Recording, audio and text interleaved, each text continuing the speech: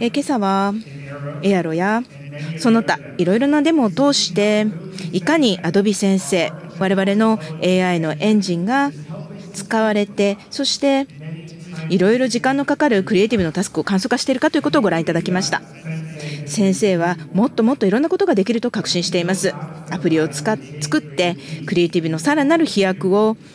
AI ならではの形で実現できるはずです。今回はこういったアプリ初のプレビューをお見せできることを嬉しく思います。フォトショップカメラこれは他にはないようなスマホカメラ向けのアプリです。多くの一般的なカメラのアプリというのはフィルターとかエフェクターなどは写真を撮った後でかけるかと思います。一方でフォトショップカメラの場合はシャッターボタン、キャプチャーボタンを押す前からクリエイティビティを発揮できるんです。また、フォトショップカメラでできることには制限がありません。フォトショップのパワーを iPad だけではなく皆様が常に持ち歩くデバイスにもお届けすることの表れです。フォトショップカメラ、えー、田中の方から紹介してもらいたいと思います。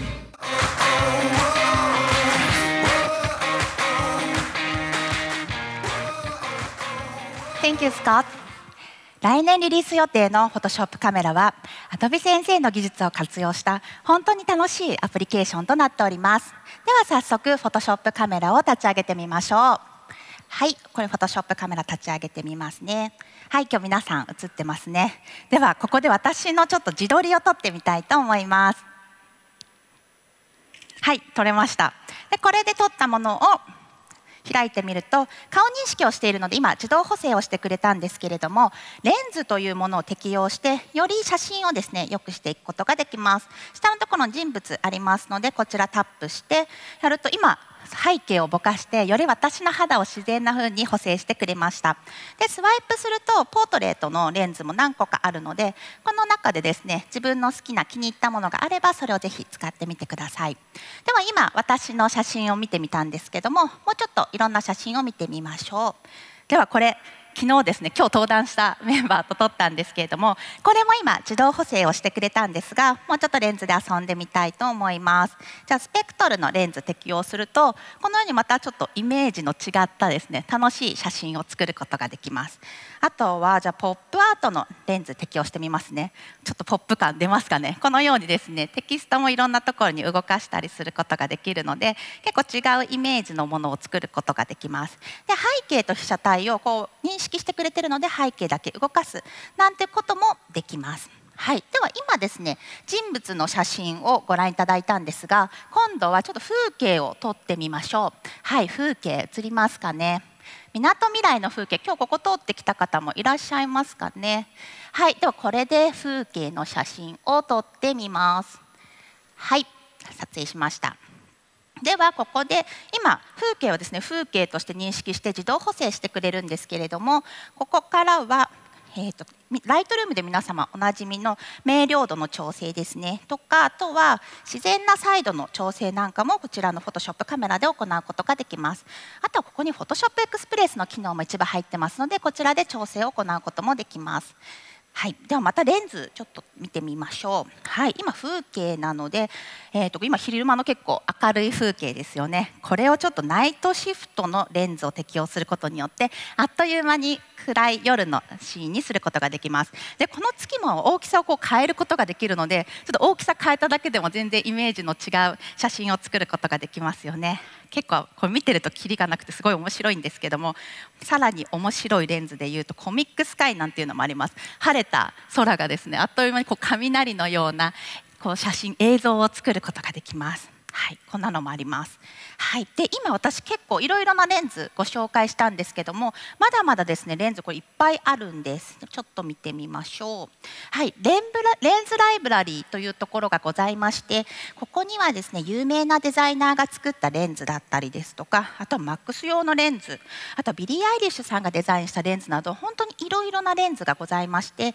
ここからですね自分の好きなものを選んで適用して写真と合成することができます。でこのレンズすごいところがですね今レンズ見ていただいたんですが自分で PSD のファイルで作ってこの Photoshop Camera に適用することができるんです。では早速ですねちょっと作ってみましょう。はいでは私の Photoshop iPad 版の画面ご覧ください。今これ月があるんですがちょっと変えてみたいと思います。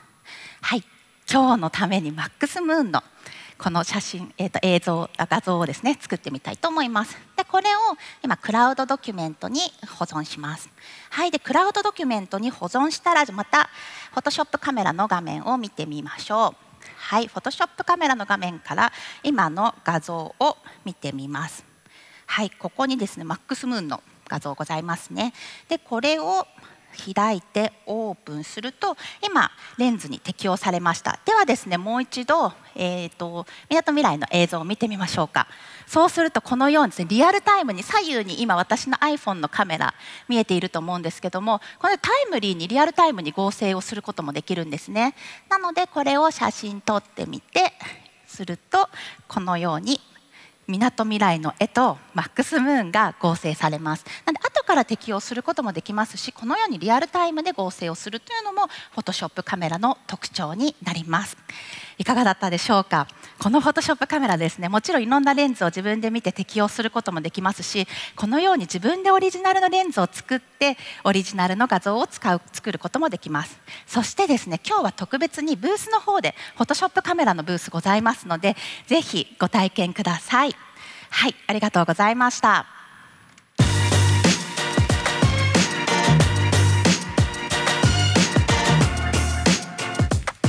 Uh, thank you, Reiko.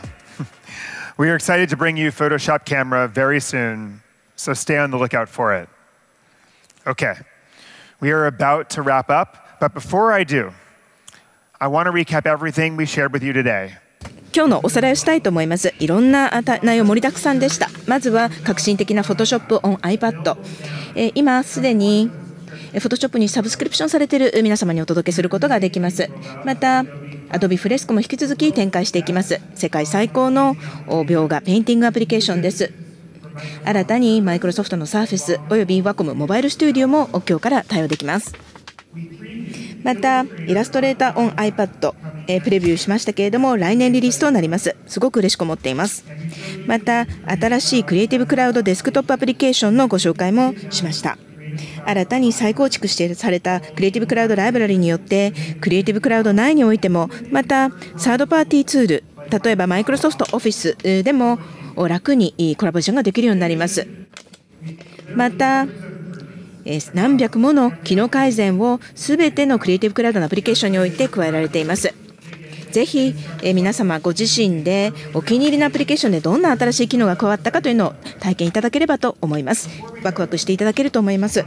最後になりますが一つ申し上げたいことがございます。今日ご紹介した内容というのは皆様クリエイティブコミュニティのお力パートナーシップなしでは実現できませんでした。皆様からのフィードバックやご提案などが我々の仕事のガイドになります。皆様の成果制作物というものが私たちのインスピレーションとなりクリエイティブクラウドの日々の改善につながっています。マックスの良いところの一つ。それはクリエイティブコミュニティが1箇所に集まることです。